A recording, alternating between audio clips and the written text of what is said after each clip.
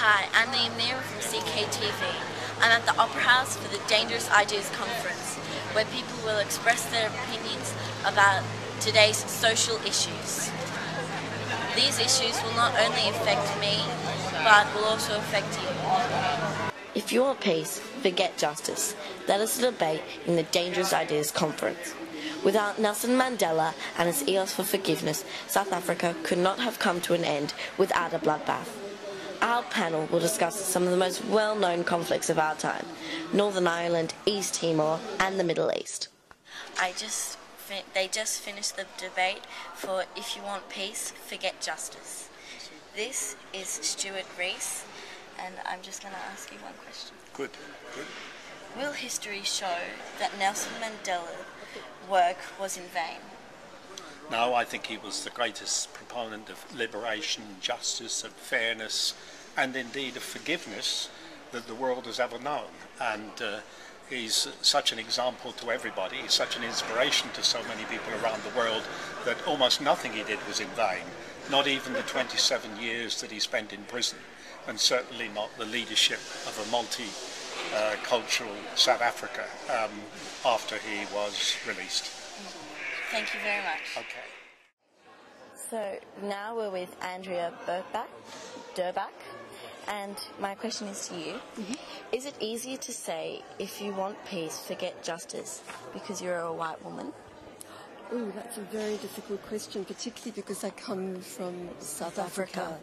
Um, it's not easy to say at all, but I think as a lawyer and also as someone who was from a, the privileged sect, section or the privileged part of South Africa, the white community, even though I fought very much against the South African government, mm.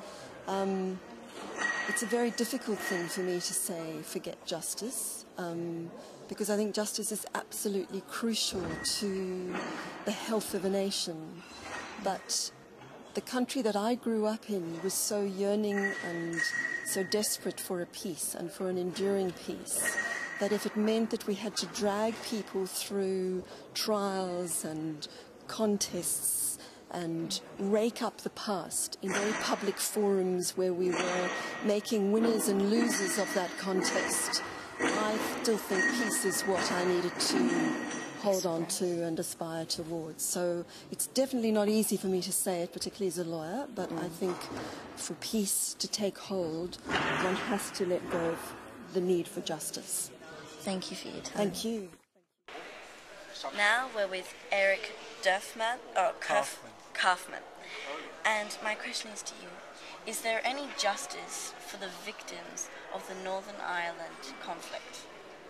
Um, there isn't justice yet for the victims of the Northern Ireland conflict, to be blunt about it, because the people who perpetrated a lot of the killings have been granted more or less an amnesty as part of the peace process. So at some time in the future, uh, it might take 50 years, it might take 100 years.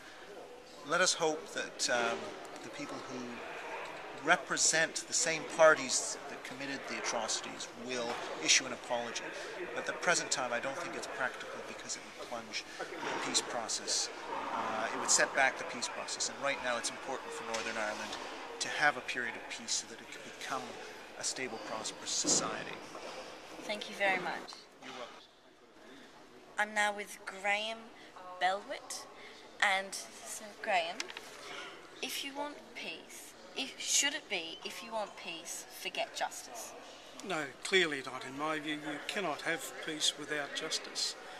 And uh, the reason I say that is that because people who um, suffer through wars and through conflicts where their relatives have been killed or badly hurt or injured, unless those perpetrators of those crimes are brought to justice, then those people who are surviving feel a sense of injustice they believe that something should happen to those who cause the misery in their family.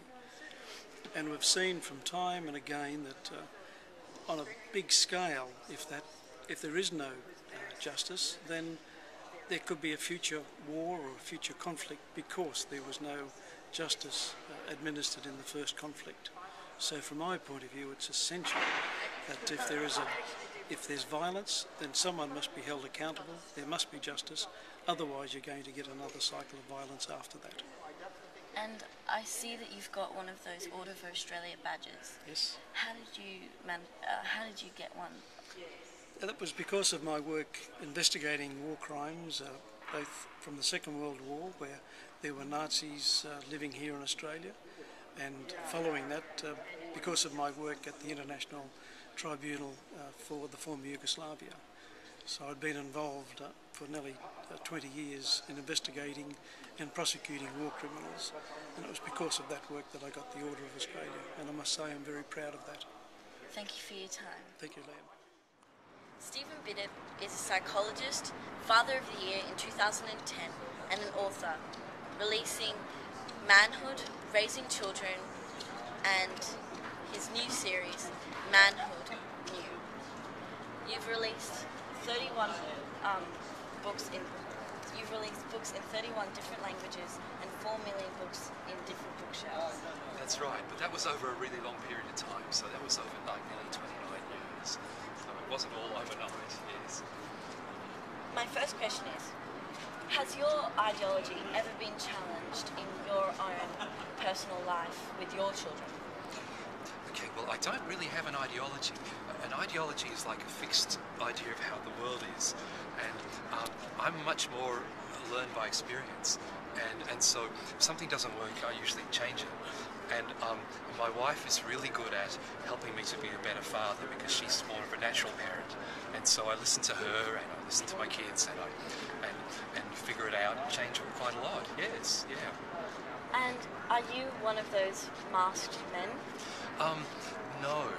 Um, I had Asperger's syndrome when I was a teenager, and so when you have Asperger's, you have trouble doing a mask. You, you actually have trouble with relationships and knowing what to say. So I sort of um, had to sort of stumble along, and learning to be a psychologist really helped me to get along better with people. And so I had to kind of learn how to be a, a human being one step at a time, whereas most people it sort of comes naturally. Yeah. And were your children your dream children? Um, no one's children are ever their dream children. That's the point of that message. That um, the, having kids is to do with throwing out your dream and and looking who's the real person, because the real person's better than what you would have made up. Um, yeah, Thank you for your time. that's a pleasure. They were great questions. Thank you. Hi, I'm with Mr. Singer, and his topic was Wired for War at the Dangerous Ideas Conference. We've now got his new book, Wired for War. So, my first question is Will there be, would there ever be, um, will the virtual world become our reality? That's a very good question. I, I think we're using more and more of these technologies, including you see a lot of people, whether it's in war or in gaming or even in commerce, uh, using technologies like Second Life would be an example. Actually, ironically enough, my wife works for the company behind Second Life. But the key, what they're finding, is that they're actually replacing other forms of entertainment and the like. So uh, people the users of Second Life, this virtual world, it's not that they're disengaging from the rest of reality, it's that they're substituting the amount of time they spend watching TV or listening to the radio, they're spending in these online platforms. Um, the same thing in war, we're using more and more robotics and the like, but it doesn't mean that the the death side of war, the violence of war is disappearing. It's more that it's a matching element. So you still have soldiers on the ground in Afghanistan, just now they're being supported by a plane overhead that doesn't have a pilot inside of it. The pilot may be somewhere else. So we're seeing great change, but not the end of the human role in any way. Is the war porn, um, um, is war porn desensitizing people from the horrors of war? I think for some it is, and this name war porn is actually what the soldiers call it. And what they're trying to talk about is that these technologies are recording acts of violence. And for some people, they're they're seeing these acts of violence, or seeing these recordings and using it for information, or they're in battle, or they're using it for. Um, documenting the news. But for other people, they're using it for entertainment. They're just watching it for fun. And their worry is that for those that are watching it for fun, you know, treating war as entertainment, for them it is desensitizing them. And um, I think this is particularly the case um, as we see more and more of our general population that isn't engaged, um, isn't connected to war. You know, a couple generations ago, uh, someone like you or me would know someone in the military, be it ourselves or be it our brothers or fathers. And now we're seeing a very small percentage of our population is actually connected to the military anymore. And so the problem is that they won't know uh, what. Um, what the reality of war is, their only engagement will be this, this virtual form.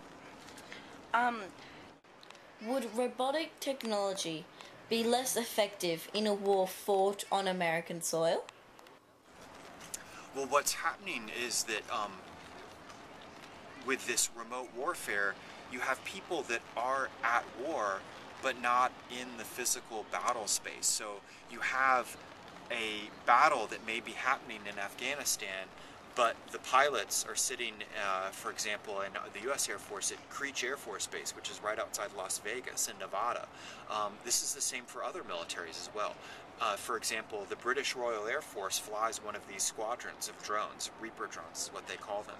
That squadron, the drones are over Afghanistan. The British pilots actually are also just outside Las Vegas. Um, who would have imagined this was the world that we're entering into? To take this to the next level, the Australian military recently just signed a contract with an Israeli company to support the troops, uh, the Australian troops in Afghanistan the Israelis will help fly the planes. So it's not just the normal mode of um, where a country buys airplanes from somewhere else. It's now buying the services of the pilots to fly them. This is a very 21st century setup that, that our understanding of war really has a hard time of dealing with, but it's the reality. Does the technology blur? Does this technology blur what is real? Who is the droid, the robot, or the person? I think the the concern that some people have is when they're watching uh, a, target, when they're watching an enemy, and they're just seeing it through the screen. That sometimes this distancing effect may may make it easier to kill. Um, in the book, I did an interview with a actually a U.S. Green Beret, one of our special forces. He was a sniper, and he actually was very concerned about this because he said anything that um, makes it easier to kill is not a good thing. Where they really get concerned is what happens is you have a generation that's grown up playing video games now operating a system that has the same controller as a video game. You're watching it through a screen, so the experience is much like a video game. Um, does it make it harder for them to distinguish? And there's a quote in the book. I was talking with the um, he worked at a, a, military robotics company, and he said, um, I worry about having a generation of kids who grew up playing Grand Theft Auto and handing them controls of something that really can't kill. That's their concern. And that means because of that, we have to pay more and more attention to um, making sure people get the reality of it, making sure they, they're well trained, making sure we have the laws to deal with all of this. So, also, war- warfare technology also benefits civilian lives, such as people with disabilities. Why does it take war to understand a person with a disability? It's a great, great question, and, and we see this again and again with technology, where things that were invented in war move over to the civilian side. Um, we see this, for example, the, the classic example is the internet. Uh, the internet was originally designed by the U.S. military for use in the event of a nuclear war to help them communicate if, if all the systems broke down. We now use it for everything from we use it to communicate. We use it to play video games. We use it to blo- to buy airplane tickets. Um, and we're seeing the same thing with this robotics technology, uh, where, for example, um, they've used it uh, for things like law enforcement, to things like they're using drones to hunt for sharks off of beaches. Uh, to they're using it for medicine, um, robotic surgery, where you may have someone in a country like um, the Congo or uh, um, uh, Indonesia who can't get good medical care, but because of a remote operation, a highly skilled surgeon, say in Sydney, can be carrying out surgery on that person thousands of miles away. So incredible, incredible advancement. And and to me, it just is a good illustration that um, we sometimes want to talk about technology be, as being good or technology as being bad, when really technology, at the end of the day, it's a machine. It, it's not ethical. It's how we use it that's ethical. Do we use it for good? Do we use it for bad? Uh, and that means that it's here so much of the discussion about the technology. It really should be about us. And my final question is Has this technology been developed as a result of the United States' inability to deal with terrorism? Well, what's happening is um, what they call battles of asymmetry. That is, you have two sides that it used to be the two sides would meet in battle and they'd fight on the same place. and that was true whether we were talking about the knights back in the Middle Ages or we saw this in the, the first uh, Persian Gulf War, where the two militaries faced each other. Well, now we have asymmetries where those that are fighting against the U.S. or fighting against Australia or Great Britain, um, they're not facing them in the battlefield. Uh, there's because for them it's almost suicidal, um, and so their response is to turn to things like terrorism or insurgency. We're not going to fight your soldiers directly, so we're going to go at them indirectly with these things like roadside bombs. So then, what's the U.S. and Australia, others are responding with their own technologic asymmetry. They're saying, fine, you're going to do roadside bombs. We're going to invent robotics that'll go out and defuse that roadside bomb rather than a soldier having to do it. Well, what happens next? The other side responds with its asymmetry. So we've seen um, uh, terrorists and insurgents design ambushes specifically for robots. We've seen targeting against the homeland because of this. Uh, the um, terrorist who, who sought to blow himself up in Times Square in New York a couple months ago, he said he did this because of the drones. And so what's happening is a constant back and forth and back and forth. In this case, not on the battlefield, but in these asymmetries. Thank you for your time, Mr. Singer. Thank you. It's been great talking to you. Great. I'm Liam Neer from CKTV. I hope you enjoyed the Dangerous Ideas Festival for 2010.